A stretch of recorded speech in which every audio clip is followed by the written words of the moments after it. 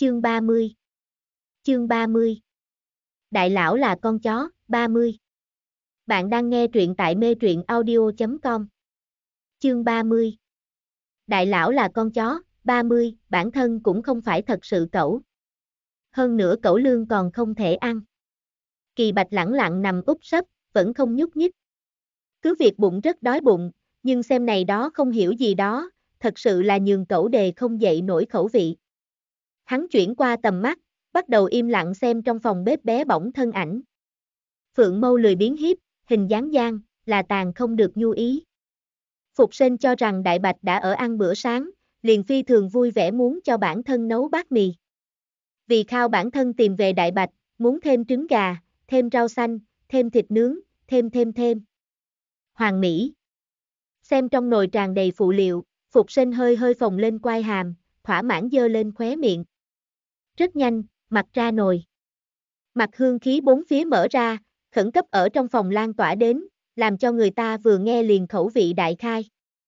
Phục sinh nâng nhất chén lớn nóng hôi hổi mặt đi ra. Kia bác đại, có thể nhường nữ hài mai phục chỉnh khuôn mặt, làm cho người ta vừa thấy liền hạnh phúc cảm mười phần. Phục sinh đầu tiên là đem mặt vững vững vàng vàng đặt ở sofa trước mặt trên bàn trà nhỏ, sau đó nhìn kỳ bạch. Đại bạch, ngươi ăn no. Sao? Phục sinh vừa thấy, ngây ngẩn cả người, thanh âm dần dần nhỏ đi xuống, đại bạch. Ngươi không phải là đói bụng sao? Mới tinh màu lam trong chậu, xếp thành núi nhỏ khâu dường như cẩu lương im lặng đãi ở đàn kia, vừa thấy chỉ biết cũng không bị động quá. Mà nhà mình đại bạch liền ngoan ngoãn khéo khéo nằm sấp ở một bên, ánh mắt ẩm nhuyễn xem bản thân, giống cái ở cầu ôm ôm tiểu nải anh. Phục sinh có chút mê mang, đại bạch. Thế nào không ăn cái gì a? Không phải là đói bụng sao? Chẳng lẽ là cách quá xa? Phục sinh có chút rối rắm xem kỳ thực khoảng cách kỳ bạch không đến 10cm cẩu bồn, ám nhăn nghĩ. Nàng thử tính về phía trước đẩy đẩy cẩu bồn, nhưng đại bạch có thể vừa khéo vừa nhấc đầu liền ăn đến. Chỉ là, kỳ bạch cúi đầu nức nở, tựa đầu thiên hướng một bên. Mao nhung nhung tiểu lỗ tai cuối, xem ra hảo không đáng thương. Nhìn xem phục sinh tâm đều nhuyễn sạp, nàng triều mến vương tay, ôm lấy hắn, ôm ôm nhu nhu cọ cọ, như thế nào? Vì sao không vui? Kỳ bạch nhu thuận lui ở nữ hài trong lòng, không có hé răng, chỉ là ánh mắt nhìn chầm chầm nhìn chầm chầm trên bàn trà nhỏ bày biện kia nhất chén lớn mặt. Kia không chút nào che giấu ánh mắt, nhưng phục sinh tưởng bỏ qua đều nan. Ngươi tưởng ăn cái này. Nữ hài ôm kỳ bạch để sát vào kia bát mì, thử nói. Chỉ thấy kỳ bạch con ngươi đen mờ sáng, nhỏ giọng kêu lên, thanh âm hoạt bát hữu lực, không giống vừa rồi hữu khí vô lực. Cảm tình vừa mới đại bạch là ở trang đáng thương. Phục sinh có chút buồn cười, trì độn như nàng, không chút nào phát hiện nhà mình cậu cậu có bao nhiêu sao thông nhân tính, thậm chí nói, có thể nghe hiểu được tiếng người. Phục sinh đem kỳ bạch nhẹ nhàng mà đặt ở trên sofa, vỗ vỗ của hắn tiểu đầu, dư quan còn phiêu kia bồn cẩu lương liếc mắt một cái, ánh mắt có chút tiếc hận, chờ, ta đi lấy cái bát phân một nửa cho ngươi. Ngươi cái tiểu đứa bé lanh lợi. Phục sinh nói được thì làm được, nhất chén lớn mặt, một người nhất cẩu một nửa. Hai cái miêu tả thanh nhã tố nói tinh xảo gốm sứ trong chén chứa nóng hôi hổi mặt, phím nồng đậm hương vị, quả thực làm cho người ta khẩu vị đại khai. Phục sinh đem kỳ bạch chuyển dời đến trên bàn trà nhỏ, đem trung một cái bát đổ lên của hắn trước mặt. Kỳ bạch ánh mắt mờ sáng, cúi đầu yên tĩnh nhu thuận ăn, mùi ngon bộ dáng, nhưng phục sinh không tự chủ mềm nhũng đôi mắt. Sờ sờ bản thân bụng, cũng đói bụng, cầm lấy chiếc đũa ăn lên. Một người nhất cẩu tương đối, ở ấm áp dưới ánh đèn, phá lệ ấm áp. Bạn thích bộ truyện này? Yêu cầu làm truyện và ủng hộ ở mô tả video. Chương 31 Chương 31 Đại lão là con chó, 31 Bạn đang nghe truyện tại mê truyện audio.com Chương 31 Đại lão là con chó, 31, ăn xong rồi bữa sáng, Phục sinh mở ra di động nhìn nhìn thời gian, 9 giờ. Hôm nay là thứ ba, Phục sinh còn phải đi trường học lên lớp. Cũng may là hôm nay khóa không nhiều lắm, chỉ tại 10 điểm có khóa. Phục sinh nghĩ nghĩ, ngồi trên sofa, sờ sờ ăn no chính hiếp mắt mệt trả rời kỳ bạch, nhẹ giọng nói. Ta muốn đi lên lớp, chính ngươi ở nhà ngoan ngoãn. Nữ hài nhẹ nhàng chậm chạp thư nhu ngữ khí, mang theo ngọt ý, trên tay độ mạnh yếu vừa vặn tốt, nhường kỳ bạch tưởng lâm vào càng sâu trong giấc ngủ. Chỉ là đi lên lớp. Kỳ bạch bỗng chốc mở to mắt, bởi vì buồn ngủ, tối đen đôi mắt phím ướt sũng sương mù, cực kỳ giống một cái mê mang nai con. Hắn theo bản năng muốn đi cọ nữ hài tay nhỏ bé, cũng không tưởng nữ hài cũng không có chú ý tới của hắn động tác, đã xoay người rời đi. Kỳ bạch ngơ ngác xem nữ hài rời đi thân ảnh, cúi đầu kêu một tiếng, thanh âm không lớn, lại ở yên tĩnh trong phòng có vẻ phá lệ rõ ràng. Đáng tiếc nữ hài đã đóng cửa lại, cái gì đều nghe không được. Rõ ràng phòng ở không lớn, lại ở nữ hài đi rồi trở nên phá lệ trống trải tịch liêu. Kỳ bạch yên lặng nằm sấp xuống, mặt mày mềm mại dần dần rút đi, thừa lại, là đối chung quanh hết thảy đạm mạc. Tối đen sâu thẳm trong mắt, không mang theo một tia cảm xúc. Kia bình tĩnh như nước vẽ mặt, giống như đã đắc đạo tiên nhân, không được xuất bản tục, không thực nhân gian yên hỏa. Hắn yên tĩnh xem cửa phương hướng, yên lặng chờ. Trong phòng một mảnh yên tĩnh. Nha! Đúng rồi. Bỗng nhiên, nữ hài theo phía sau cửa nhô đầu ra, khuôn mặt tươi cười trong suốt, mang theo sức sống. Kỳ bạch sửng sốt, ngẩng đầu lên xem nàng. Chỉ thấy nữ hài thật nhanh chạy tiến vào, đi đến sofa bên cạnh, đối với kỳ bạch tiểu đầu lại là bẹp một ngụm, đỏ bừng môi hơi hơi than thở, cấp cho ta tối thân ái đại bạch thân ái, hương hương mềm yếu xúc cảm, mang theo nhàn nhạt hương sữa, làm cho người ta dừng không được si mê. Ngay tại kỳ bạch còn tại hiểu ra kia một cái chớp mắt xúc cảm khi, nữ hài liền lại bật lại kêu rời khỏi. Trong phòng quay về yên tĩnh, chỉ là kỳ bạch không bao giờ nữa có thể vẫn duy trì vừa rồi tâm như chỉ thủy. Hắn hơi giật mình xem kia một cánh cửa, trên trán bị thân quá địa phương nóng lên lợi hại, phản phất bị bàn ủi ấn lên rồi giống nhau. Nguyên bản đạm mạc như vậy trong con ngươi đen, nổi lên từng trận gợn sóng, giống như một viên đại tảng đá nặng nề mà nhốt đánh vào một cái đầm hồ nước trung, không lại bình tĩnh. Không thực nhân gian yên hỏa tiên nhân tự hồ đã rơi vào hồng trần, bị mãnh liệt tim đập nhanh cảm chi chích ma mật vây quanh, nhiều người không thể thoát đi, cũng không muốn chạy trốn cách. Kỳ bạch sâu thẳm phượng trong mắt dần dần lộ ra ý cười, phím kỳ dị u quan, yêu mà không giả. Mặt mày mềm mại, không mang theo một tia lạnh lùng. Hắn im lặng nằm sấp xuống, đối với môn, cùng đợi của hắn nữ hài trở về. Muốn lên khóa phòng học vừa khéo cách Phục Sinh gia không xa, Phục Sinh đi bộ hơn 10 phần chung liền đến. Phục Sinh đến còn có chút sớm, lúc này trong phòng học nhân còn không nhiều, lưa thưa lớt thớt, đều ở đều tự làm bản thân chuyện. Phục Sinh tùy ý tuyển cái thứ ba xếp vị trí, thuận tiện giúp giống như trên một môn khóa thanh giao cũng chiếm cái chỗ ngồi. Nàng ngồi xuống, xuất ra thư, phóng hảo túi sách. Bởi vì tay phải giúp đỡ băng vải, không có phương tiện động thủ, cho nên hết thảy sự tình chỉ có thể từ tay trái đến làm. Tuy có chút không có phương tiện, nhưng vẫn là miễn cưỡng có thể làm. Lúc này, Phục sinh bên cạnh bỗng nhiên đứng lại một người, chính xác ra, là một vị nam sinh. Đồng học nhĩ hảo. Xin hỏi nơi này có nhân tọa sao? Phục sinh sửng sốt, dương mắt nhìn lại. Bạn thích bộ truyện này? Yêu cầu làm truyện và ủng hộ ở mô tả video.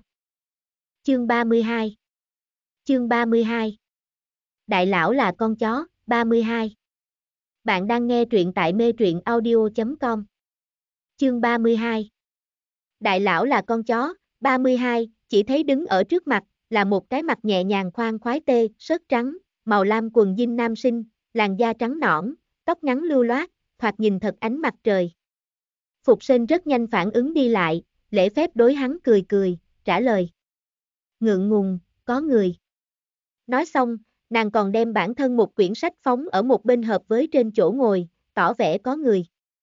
Khi nam sinh có chút thất vọng, hắn nhìn chầm chầm xem Phục sinh đẹp mắt tinh xảo mặt, gò má ửng đỏ, lắp bắp nói. Kia. Vậy được rồi. Ta. Ta. Đổi vị trí. Sau đó, liền trực tiếp ngồi xuống Phục Sinh phía sau, thường thường ánh mắt còn lạc ở phía trước nữ hài trên người. Phục Sinh đối ánh mắt hắn nhìn chầm chầm có chút không được tự nhiên, nhíu nhíu mày, lại cũng không tốt nói cái gì, chỉ có thể trang làm cái gì đều không biết bộ dáng. Cũng may, rất nhanh cố thanh giao đã tới rồi. Nàng vừa tới, mang theo vội vàng vội vàng bộ pháp, bôn hướng Phục Sinh. Của ta sên sên đại bảo bối như thế nào vì sao đột nhiên bị thương. trong lời nói, dừng không được quan tâm cùng đau lòng. Phục sinh bất đắc dĩ cười, ý bảo nàng ở phòng học nhỏ tiếng chút. Hư. Chuyện này nói đến nói dài. Như thế này ngươi theo ta về nhà đi. Ta cẩn thận cùng ngươi nói. Không có biện pháp, sắp lên lớp, cố thanh giao cũng chỉ có thể kiềm chế trụ bản thân. Nàng thân thiết chỉ chỉ phục sinh cột lấy băng vải cánh tay phải, nhỏ giọng hỏi. Vậy ngươi thủ có đau hay không a? Đau. Phục sinh nghiêng đầu nghĩ nghĩ, bỗng nhiên tiểu môi nhất biết, Nguyễn Bạch quay hàm phình, vĩ khuất làm nũng nói. Chỉnh trương khuôn mặt nhỏ nhắn thoạt nhìn chính là cái nho nhỏ bạch diện nắm, đáng yêu cực kỳ. Cố thanh giao tâm bỗng chốc trở nên Nguyễn Tháp Tháp, có chút không tự chủ thu đứng lên, nàng vãn khởi phục sinh tay trái, người bảo đảm hộ nàng trạng, hào khí nói. Không hoảng hốt. Về sau ta mỗi ngày mang cho ngươi xương cốt canh. Cam đoan nhường tay ngươi bộ dạng hảo hảo. Cố Thanh Giao trong nhà là kinh thương, ở thành phố A còn được cho là thượng lưu nhân sĩ. Gia đình giàu có nàng không được giáo, mà là ở trong nhà, sau đó mỗi ngày ngồi tư gia xe đến lên lớp. Cũng bởi vậy, Cố Thanh Giao tài năng làm ra mỗi ngày mang canh lời nói hùng hồn. Phục sinh nghe xong, ánh mắt sáng ngời, mặt mày cong cong, tinh xảo hạnh mâu ba quan gợn sóng, giống như sóng nước. Mềm mại môi đỏ dơ lên, lộ ra tiểu xảo linh lung khiết hoàng mỹ hàm răng. Nhưng nàng lại cụ cụ, ra vẻ dè dặt nói. Cảm ơn Giao Giao, không cần rất phiền toái. Không trách Phục sinh vui vẻ, cố thanh Giao Gia bảo mẫu làm đồ ăn thật sự là ăn quá ngon, sắc hương vị câu toàn. Phục sinh chỉ ngẫu nhiên ăn qua vài lần, liền đã lưu luyến quên phản. Không được. Nhất định phải ăn. Cố Thanh Giao thái độ kiên quyết nói. Sau đó, Phục sinh ánh mắt sáng lấp lánh, ẩm ờ tiếp nhận rồi. Nghĩ đến bản thân có thể ăn thượng ăn ngon như vậy canh, Phục sinh khóe miệng liền dừng không được về phía dơ lên, tâm tình kích động như là cái được đường tiểu bằng hữu. Rất nhanh, chung vào lớp vang. Phục sinh thế này mới cùng cố thanh giao đã xong đề tài. Tan học sau đã là 11 giờ rưỡi, cơm trưa thời gian. Phục sinh tâm niệm trong nhà đại bạch, vội vàng kéo cố thanh giao về nhà. Dọc theo đường đi vừa đi vừa nói với cố thanh giao ngày hôm qua phát sinh sở hữu sự. Vừa nói đến bản thân ở mưa rền gió dữ trong đêm đen còn ra đi tìm con chó nhỏ, cố thanh giao kinh ngạc bưng kín miệng. Ngươi điên rồi. Ngươi một cái tiểu nữ sinh, rất nguy hiểm. Phục sinh mặt vài giây, có chút không phục tưởng phản bác. Nhưng mà cố thanh giao không có cho nàng cơ hội, nàng vẽ mặt nghiêm túc, miệng lẩm bẩm nói. Không được. Cấp cho ngươi tăng mạnh an toàn giáo dục công tác. Phục sên. Bạn thích bộ truyện này. Yêu cầu làm truyện và ủng hộ ở mô tả video.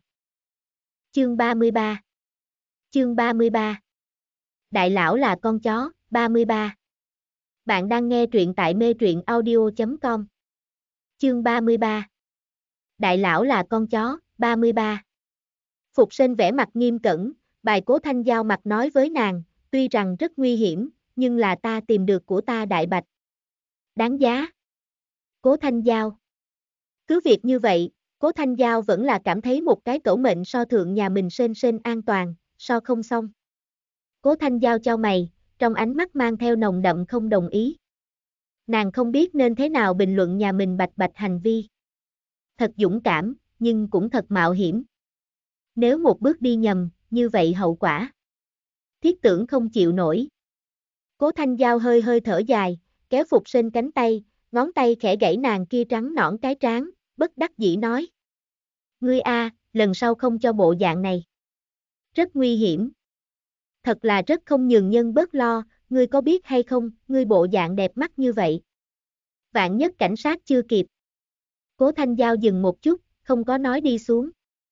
Phục sinh sờ sờ bản thân tiểu mũi, cười hì hì, có chút không hiểu chột dạ, làm nũng nói. Mặc kệ, ta liền là cái vận khí siêu tốt bổng nữ hài. Cố thanh giao mềm lòng một tháp, nàng này hảo bồn hữu, thật sự là làm cho người ta lại tức giận lại đau lòng. Nàng kéo phục Sinh, nghĩ nghĩ, hỏi tiếp. Cho nên hiện tại ngươi cứu đại bạch ngay tại nhà ngươi. Đối, đại bạch khả ngoan. Lại ngoan vừa đáng yêu. Phục sinh nhất sửa chột dạ biểu cảm, bỗng chốc ưỡn ngực ngẩng đầu tự hào nói. Thật sự là vết thương lành đã quên đau. Xem này tấm đắc ý giàu dạt, kiêu ngạo không thôi biểu cảm, nhưng cố thanh giao đột nhiên rất hiếu kỳ này đại bạch cuối cùng rốt cuộc là cái gì cẩu, dài gì dạng. Dọc theo đường đi, Phục Sinh luôn luôn đều ở khoa nhà mình đại bạch. Thải hồng thí đều nhanh thổi trên trời. Điều này làm cho cố thanh giao lòng hiếu kỳ càng lúc càng lớn. Rất nhanh, Phục Sinh gia liền đến. Hai người theo mới từ thang máy đi ra, trong phòng kỳ bạch giống như hồ cảm giác được cái gì, ngẩng đầu lên, một đôi con ngươi đen yên lặng xem cửa. Xem ra trở thành cẩu vẫn là có lợi, các loại cảm quan năng lực tự hồ đều có biến thành hóa. Kỳ bạch yên lặng suy tư về. Chỉ chốc lát sau, môn trăng rắc một tiếng, mở. Kỳ bạch ước ác ánh mắt mờ sáng, hiện lên một tia chờ mong, tâm cũng có chút không quy luật đứng lên. Nhưng mà, đi vào quả thật một cái xa lạ nữ nhân, mang theo cùng này phòng ở không đồng nhất trí hơi thở. Kỳ bạch nhíu nhíu mày, phượng mâu hiếp lại, gợi lên đạm mạc độ cong, có chút không vui. Nhưng một giây sau, phục sinh vào tầm mắt. Kỳ bạch hơi hơi mềm mại mặt mày, thân mình ngoan ngoãn nằm úp sấp, thân đầu kêu một tiếng. Ung ung ung, ngươi đã về rồi yên tĩnh trong phòng, ôn hòa tiếng kêu có vẻ phá lệ vang dội. Cố Thanh Giao tò mò tìm thanh âm chạy đi qua. Đây là ngươi nói đại bạch. Đúng vậy, Phục sinh không lưng đổi hài, mềm yếu đáp. Cố Thanh Giao để sát vào, đánh giá cẩn thận hắn, có chút tân kỳ kêu. Đại bạch. Kỳ bạch nghe xong, nhíu nhíu mày, ánh mắt hơi mát, đen đặc như mực trong con ngươi hiện lên một tia không vui. Hắn lui thân mình, xem không ngừng tới gần xa lạ nữ nhân, phượng mâu hiếp lại, ánh mắt sắc bén, chung quanh độ ấm bỗng chốc hàng nhập linh điểm. Chưa phát dục tốt răng nanh hơi hơi lộ xuất ra, thật nhỏ lại vô cùng sắc nhọn, phím một chút sáng bóng, thoạt nhìn có chút dọa người. Lần này xem như, dường muốn đi sờ của hắn cố thanh giao dám dừng lại. Rất lạnh ánh mắt, thật hung dữ ánh mắt. Nàng chiến chiến trục tay về, quay đầu nhìn về phía Bạch Linh. Của ngươi đại bạch. Có phải không phải hội cắn người A? Bạn thích bộ truyện này? Yêu cầu làm truyện và ủng hộ ở mô tả video. Chương 34 Chương 34 Đại lão là con chó, 34 Bạn đang nghe truyện tại mê truyện audio.com Chương 34 Đại lão là con chó, 34, Phục sinh nghe xong, có chút không rõ chân tướng. Sẽ không a của ta đại bạch khả ngoan. Nàng đi tới, ngồi ở kỳ bạch một bên, nhẹ nhàng ôm nhu một tay ôm lấy hắn, đặt ở bản thân trên đùi, sau đó tương đương tự nhiên sờ sờ đầu của hắn. Toàn bộ quá trình, kỳ bạch không có bất kỳ phản kháng, thậm chí răng nanh đều rụt trở về, chỉ là lười biếng nằm úp sấp, nhu thuận bám vào đầu tùy ý nữ hài vuốt. Ánh mắt ẩm nhuyễn, không có chút mới vừa rồi sắc bén, hoặc nhìn phá lệ nhu thuận, sống thoát thoát là một cái tiểu nải cẩu. Phục sinh hạnh mâu hơi cong, phím ấm quang, trong suốt thủy nhuận, nàng quay đầu nhìn về phía một bên chính trợn mắt há hốc mồm cố thanh giao, nghi hoặc nói.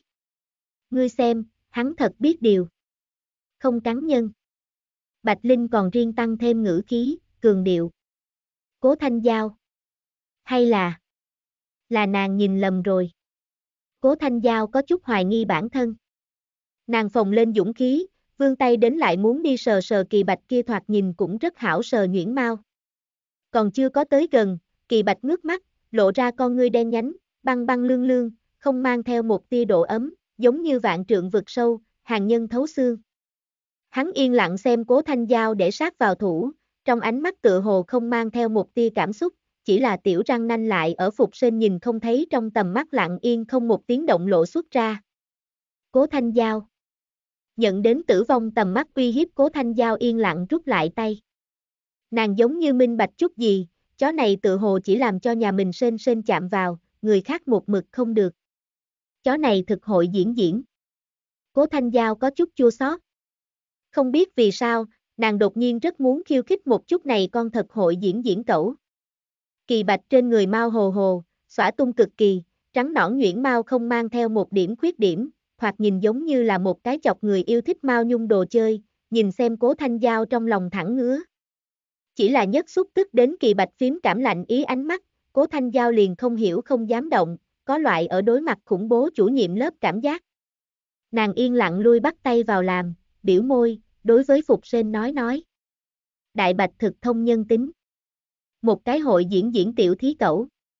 Phục sinh nghe xong, hạnh mâu công công, phản phất bị khích lệ là bản thân thông thường, trong trẻo ánh nhuận trong ánh mắt để lộ ra tràn đầy kiêu ngạo. Kia đương nhiên rồi. Ta siêu cấp thích của hắn. Cố Thanh Giao xem nàng ngốc hồ hồ, một bộ không phản ứng tới được bộ dáng, trong lòng bất đắc dĩ bật cười. Của ta ngốc sên sên a. Quên đi. Chỉ cần chó này đối sên sên trung tâm là được, không nhường chạm vào sẽ không nhường chạm vào. Cố Thanh Giao nghĩ nghĩ, không lại tận lực để sát vào, chỉ là ánh mắt không ngừng đánh giá kỳ bạch, ẩn ẩn trung để lộ ra cảnh cáo ý tứ hàm xúc. Chỉ là, kỳ bạch căn bản sẽ không để ý cố thanh giao ánh mắt, như có như không tầm mắt đối hắn căn bản sẽ không sinh ra cái gì ảnh hưởng. Hắn nghe Phục Sinh ngôn ngữ gian mang theo tràn đầy vui mừng, cùng với không chút nào che giấu yêu thích, tiểu lỗ tai tiểu meo meo đỏ lên. Hắn đè nén chính đang không ngừng nhanh hơn tim đập, nhẹ nhàng mà chuyển thân mình, khiến cho càng thêm tới gần nữ hài mềm mại bụng. Nhàn nhạt hương sữa vị nghênh diện mà đến, thanh thanh điềm điềm, cũng không mang chút chán ngấy, chỉ làm cho nhân cảm thấy vô cùng sung sướng cùng vui mừng. Kỳ bạch bán nheo lại phượng mâu, lộ ra lười biến cảm xúc, tối đen vô cùng đôi mắt mang theo thiết chừng ánh sáng nhu hòa, ba quan gợn sóng, nổi lên câu nhân độ công. Rõ ràng chỉnh điều cẩu thoạt nhìn nguyễn manh đáng yêu, ánh mắt lại vô cùng yêu giả câu nhân. Nhưng mà này đó, đều không có nhân nhìn đến, bởi vì hắn chính chôn ở Bạch Linh trong lòng, lặng yên không một tiếng động cảm thụ được nữ hài trên người mùi hương thoang thoảng. Bạn thích bộ truyện này? Yêu cầu làm truyện và ủng hộ ở mô tả video. Chương 35 Chương 35 Đại lão là con chó, 35 Bạn đang nghe truyện tại mê truyện audio.com Chương 35 Đại lão là con chó, 35, Phục sinh Mỹ tư tư sờ soạn kỳ bạch một lát, quay đầu xem cố thanh giao một bộ tha thiết mong bộ dáng, hiến vật quý nói. Ngươi muốn hay không ôm một cái? Đại bạch thật biết điều thật nhuyễn. Vừa nói xong, nữ hài còn tưởng đem không ngừng hướng trong lòng mình cọ kỳ bạch vớt lên, đưa cho cố thanh giao. Cảm nhận được nữ hài không mất mềm nhẹ động tác, kỳ bạch bị kìm hãm, lập tức dãy dụa đứng lên. Hắn chân sau vi đặng, muốn đẩy ra nữ hài tay nhỏ bé, miệng thấp giọng nức nở, tội nghiệp. Phục sinh sửng sốt, cúi đầu nhìn hắn. Chỉ thấy hắn ngửa đầu, mở to ngập nước mắt to thật nghiêm cẩn xem bản thân, con ngươi đen óng ánh trong suốt, giống như hai khỏa phím sáng bóng hắt trân châu, lộng lẫy lóa mắt. Chỉ là mặt trên bỗng nhiên bị một tầng mỏng manh sương mù che giấu, ẩn ẩn trung, mang theo lên án cùng ủy khuất. Phục sen. Không biết vì sao, bị đại bạch như vậy nhìn chầm chầm, nàng có loại bản thân là phụ lòng hán cảm giác. Cố Thanh Giao yên lặng trợn trừng mắt. Chó này thần đạp mã thành tinh.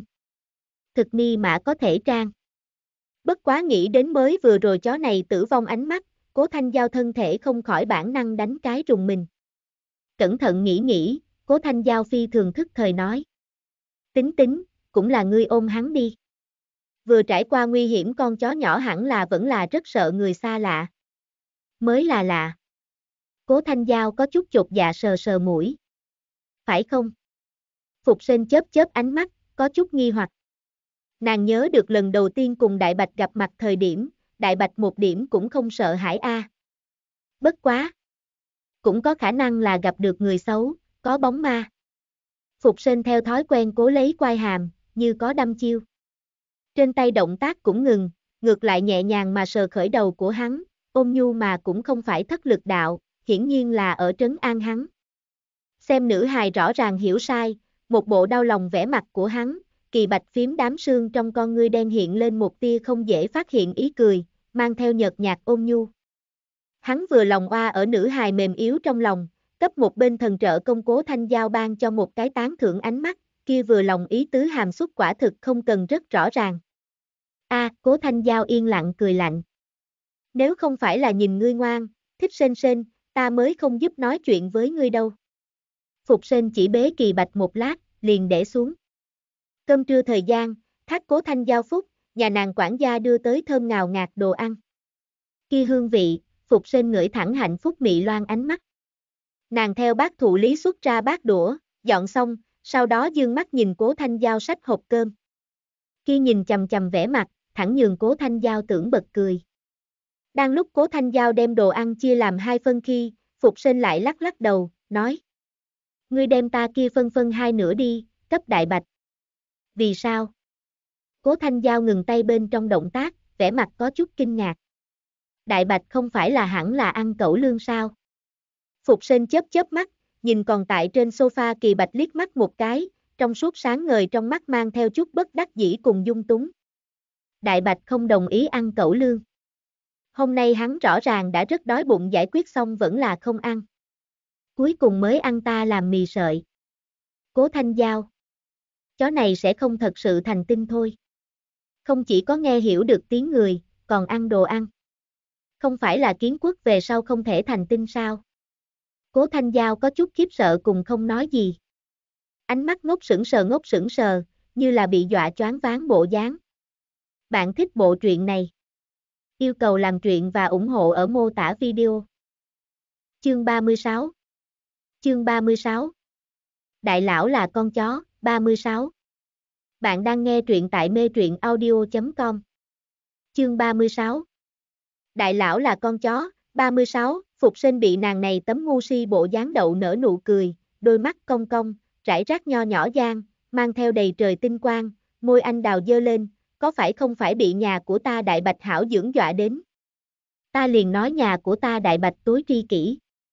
Nữ hài hơi hơi ngẩng đầu lên, hạnh mâu hiếp lại, bánh bạch như ngọc khuôn mặt nhỏ nhắn bên trên bày ra giàu dạt đắc ý nhặt được bảo vẻ mặt, cực kỳ giống một cái trộn được tinh đáng yêu con mèo nhỏ.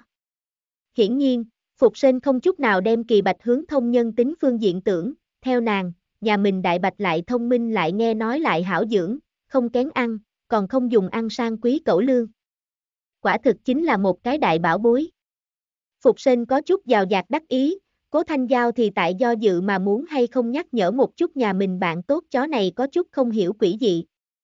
Nàng tổng cảm giác chó này có chút kỳ quái. Nàng há miệng thở dốc, xem bạn tốt này tấm ngốc dạng, đang muốn phát ra tiếng. Đột nhiên, phía sau truyền đến một loại rét lạnh, mang theo hiếp bức, làm người ta như đứng đống lửa, như ngồi đống than ánh mắt. Loại này như thế rõ ràng ánh mắt, làm cho người ta tưởng bỏ qua đều nan.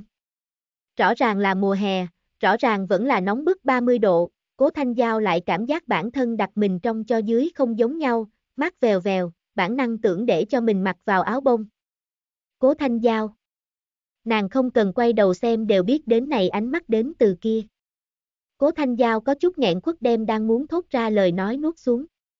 Nàng cười mỉa, phụ họa nhà mình ngốc bạn tốt, sau đó yên lặng đem đồ ăn chia làm tam phân. Nàng quá khó khăn. Luôn luôn nhường cố thanh giao nghĩ mãi không xong là, rõ ràng chỉ là một cái cẩu, vẫn là con chó nhỏ. Vì sao bản thân đối mặt hắn sẽ như vậy túng?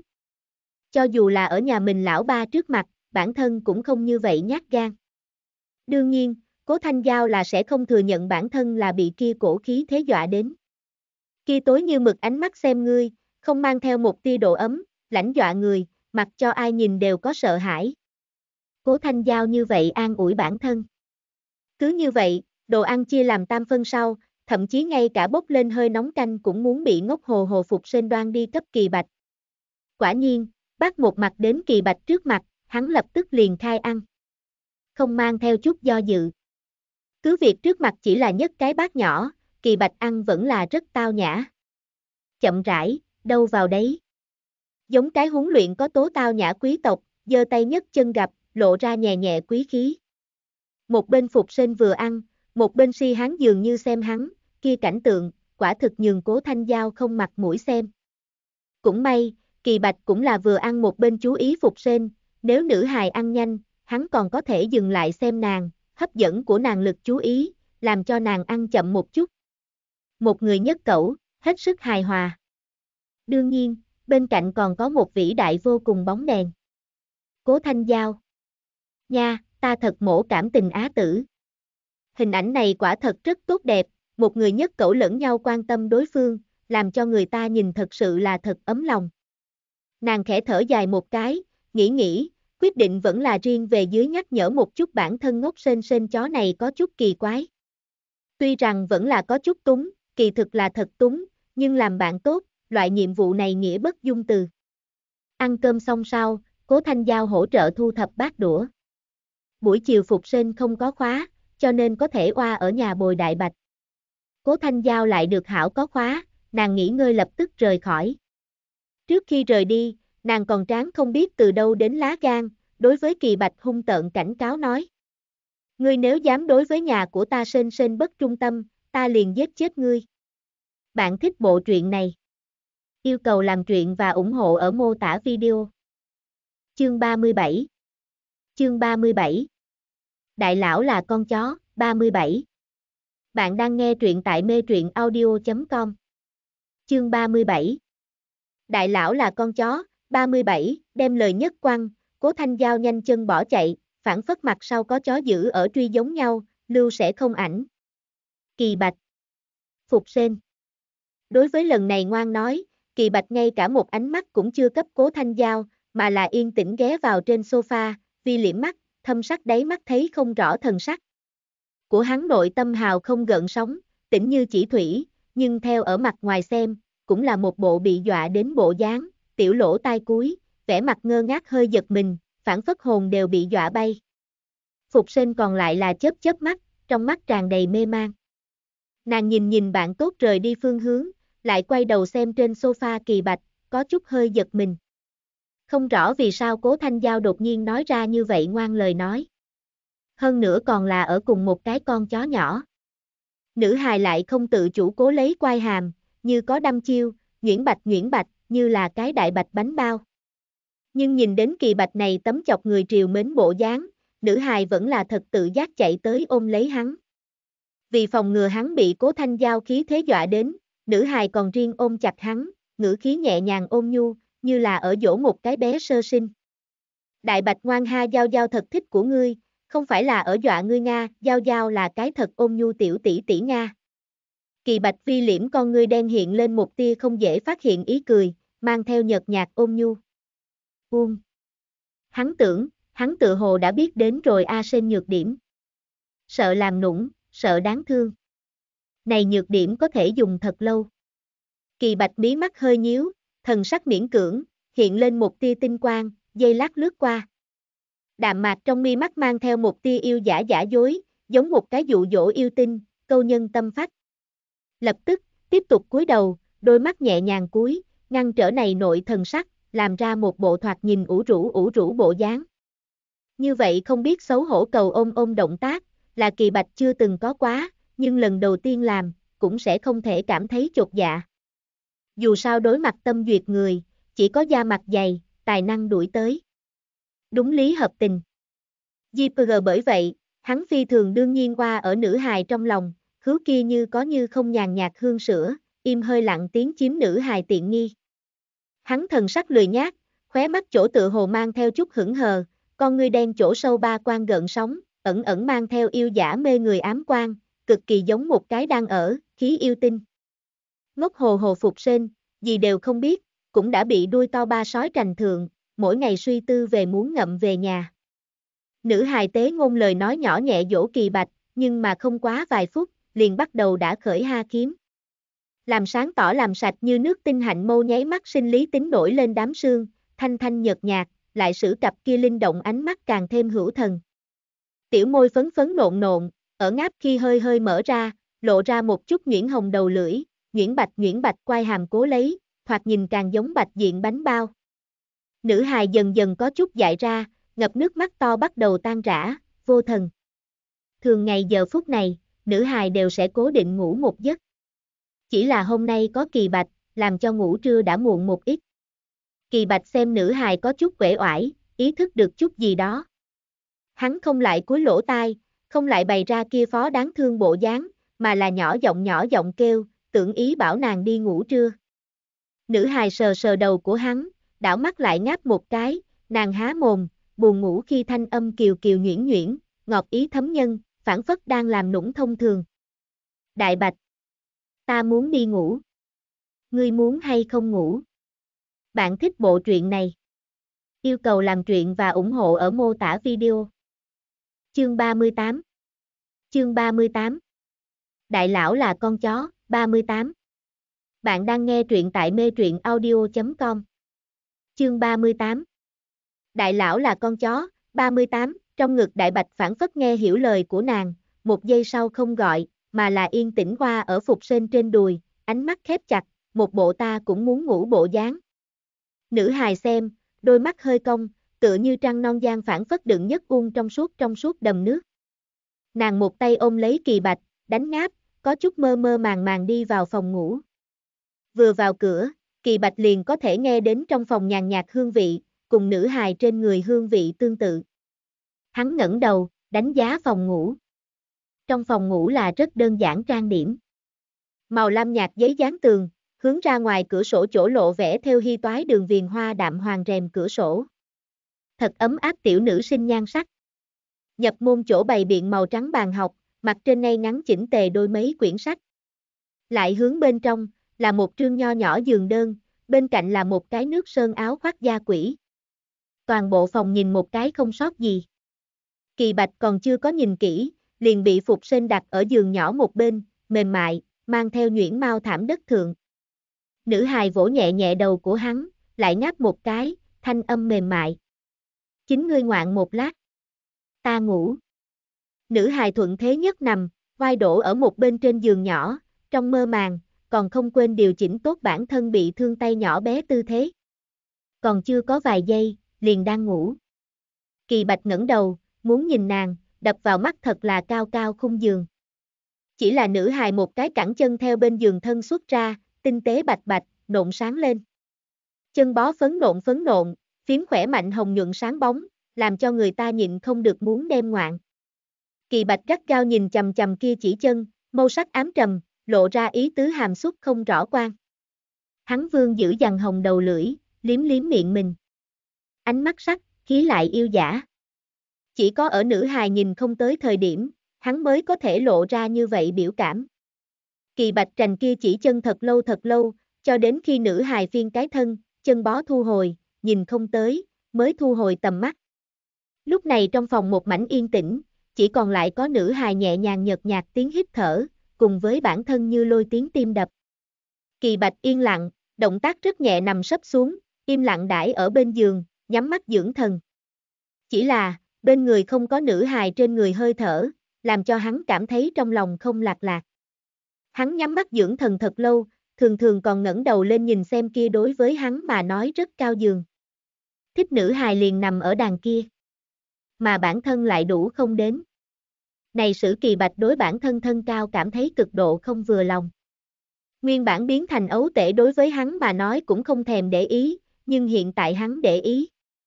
Tưởng cùng tiến lên giường. Ý nghĩ như vậy một chút xông ra. Kỳ bạch chỉ là rất nhỏ hơi hất mày, liền đương nhiên tiếp nhận rồi. Đối mặt tâm duyệt nữ hài, kỳ bạch khả không muốn làm cái gì chính nhân quân tử. Tuy rằng vốn, hắn cũng không tính cái gì quân tử. Hiển nhiên, kỳ bạch hoàn toàn đã quên muốn lo lắng nữ hài có hay không nam bồn hữu vấn đề. Bên tai truyền đến nữ hài nhẹ nhàng nhợt nhạt tiếng hít thở, kỳ bạch đầu nằm úp sấp, mí mắt vi liễm, thâm sắc trong con ngươi mang theo lười biến ý tứ hàm xúc. Không biết qua bao lâu, có lẽ một giờ, nữ hài tỉnh. Nàng mơ mơ màng màng ngồi dậy, nâng lên không bị thương tay nhỏ bé theo thói quen nhu nhu ánh mắt. Lại ngáp một cái, nữ hài ánh mắt dại ra nhìn tiền phương, nửa ngày không phản ứng. Hạnh mâu thủy trong suốt, phím một tầng nông cạn hơi nước, như nai con giống như trong suốt sáng ngời. Bạn thích bộ truyện này? Yêu cầu làm truyện và ủng hộ ở mô tả video. Chương 39 Đại lão là con chó, 39 Bạn đang nghe truyện tại mê truyện audio.com Nguyễn Bạch trên má nộn hồng nộn hồng, như là chính quả táo, làm cho người ta nhịn không được tưởng cắn một ngụm. Kỳ Bạch ngẩng đầu, xem nàng một bộ mê mang không biết bộ dáng, trong sâu thẳm mắt mang theo ý cười, lưu quan gợn sóng giang, phím ôm nhu quan. Đáng yêu, tưởng thân. Hắn gọi một tiếng, trưng trưng. Ý đồ khiến cho nữ hài chú ý.